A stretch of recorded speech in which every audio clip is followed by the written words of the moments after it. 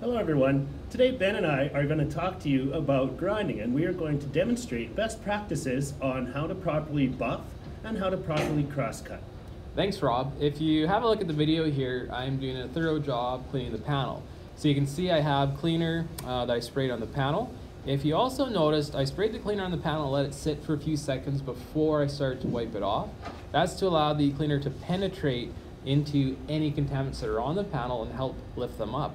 And then I wipe them off, being very particular with getting all the edges uh, and making sure that panel is very clean. That's always the first step in any repair is cleaning the panel. So I'm going to continue in a few moments here uh, with the grinding process. Here everybody, Ben is going to show you the best practice on how to cross cut and then when he's done there, he is going to demonstrate best practices on buff.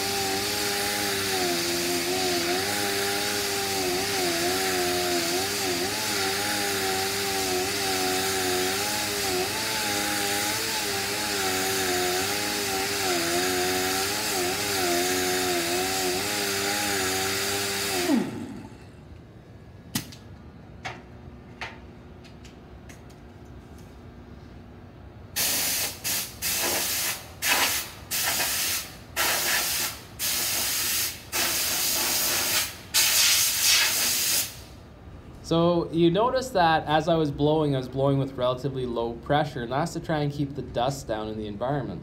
Speaking of low pressure, Ben, I noticed that when you were grinding, that you had low pressure, which in turn almost stalled your grinder. Why was that? Well, that was to try and keep the grinding disc moving at a low speed, which prevents heat buildup and warpage in the sheet metal, but that also extends the life of the grinder disc, which in turn allows you to actually grind faster, believe it or not. So how would I know, Ben, if I was maybe using uh, too fast of an RPM while I was grinding? If you're grinding too fast, the panel gets hot. You'll see sparks coming off. You'll also notice that the color of the panel will change to a dark color. It'll get black. On top of that, touch the panel with your hand. If it burns you, what's happening? You're probably using too high of an RPM and creating too much heat. Excellent. So that's the best practices. Now let's uh, have a look at things not to do because these are things that Rob and I see in the classroom all the time. So here's a typical technician doing things that you maybe shouldn't do. So see how many items you can notice in this video.